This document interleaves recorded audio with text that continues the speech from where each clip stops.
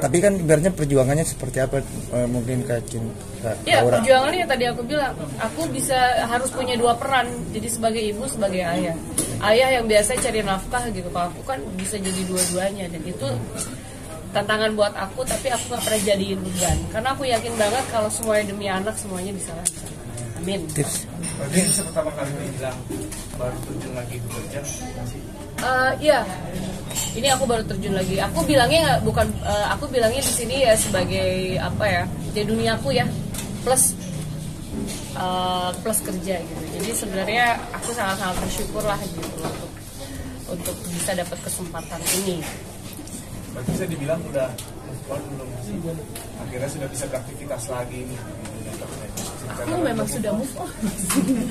Tapi kan bedanya itu, ada beberapa orang itu yang uh, eh gue pengen punya anak setelah dia punya anak kayak ah gue kayaknya mau fokus di entertain dan anaknya benar-benar sengaja dilepas banget. Nah kalau aku belum bisa.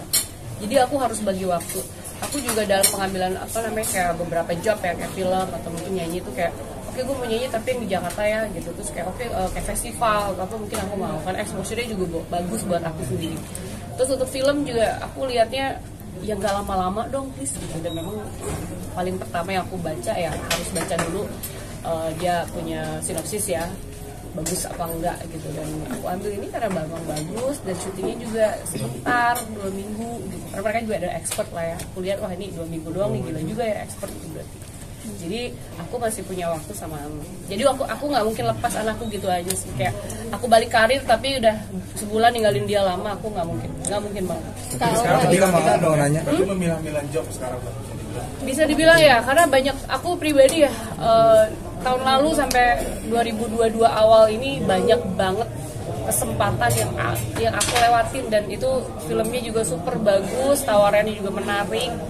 series juga bagus-bagus banget tapi balik lagi aku pikir ini terlalu lama dan aku nggak mau lepas anak aku nih.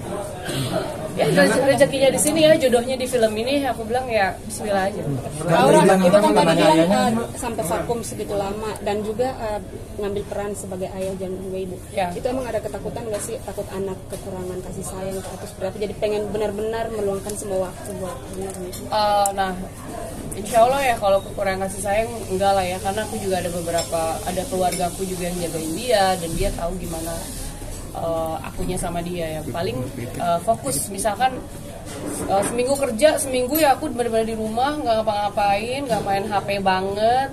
Ya udah aku totalin kasih waktu buat anak jadi menurut aku itu fair. Maaf kak. Kan bisa dibilang kan kakak kan mencari ibaratnya rezeki buat anak nih. Ya emang maaf ya maaf kalau mantan tuh emang nggak memberikan buat anak atau seperti apa Nggak menafkah. Wah kalau itu tak berantah ya saya juga nggak tahu dia ada di mana ya jadi biarkan saja Berarti sampai detik ini belum ada komunikasi. Enggak, enggak ada. Enggak tahu ada di mana. Anak-anak nanyain gak sih? Nah, kebetulan eh, ya ada kadang nanyain. Cuman kita harus kasih penjelasan yang benar dan jangan sampai anak itu jadi jadi ada rasa merasa di apa ya? Tidak di di apa namanya? nggak ngera- ngerasa nggak dianggap gitu loh. Oh, eh, dedinya mana atau apa. Tapi aku kasih penjelasan dengan baik dan aku yakin dia pasti ngerti suatu saat. Seperti apa tuh penjelasannya? ya kita bilang aja oh oh, nggak ada di Indonesia gitu nggak ada di sini nanti ketemu ya kapan-kapan dia juga ngerti masih kecil kan belum begitu ngerti dibanding amit-amit ya dibanding anaknya udah udah ngerti udah gede tiba-tiba pemberitaannya banyak divorce segala macam lebih enak lagi kan jadi mendingan di eh, ya Tuhan tuh punya jalan sendiri ya gitu jadi dia udah nggak ada sama dedinya dari umur 8 bulan which is dia nggak ngerti tapi kita harus kasih penjelasan supaya dia juga nggak benci nggak boleh nggak suka nggak boleh benci sama orang tuanya sendiri Berarti nggak ada komunikasi ya, Kak? ya? nggak ada Ingin mencari tahu gitu, Pak? Enggak. Jadi cari tahu saya dong paling gampang kan. Dan di Google di Instagram kan gampang sebenarnya. Terakhir kapan tuh ngomongin? Waduh nggak tahu mas. Udah lupa. Tapi kalau Kak Aura sendiri udah buka hati belum sih buat baru gitu? Mungkin ada deket waduh. gitu. mencari gantinya atau gimana? Nah, kalau eh, masing-masing itu kan tujuannya beda-beda ya. Ada yang memang pengen cari pengganti itu memang buat membantu buat nafkah. Ah, cari suami nih buat nafkahin gue sama anak gue gitu. Atau mungkin gue harus punya suami supaya gue gak kesepian gitu. Nah, kalau aku pribadi, kedua variabel itu eh, aku nggak jadikan beban. Aku bilang ya, kalau memang harus dapat ya kodar harus dapat. Kalau memang belum ya kodarullah gitu. Jadi kita menunggu dan mengalir aja ini arahnya Allah mau ngambil mau ngarahin kita nih ke mana. Jadi ikhlas aja pasrah atau nggak ada ada kriteria mas sendiri nggak sih? atau ada kriteria sendiri nggak sih?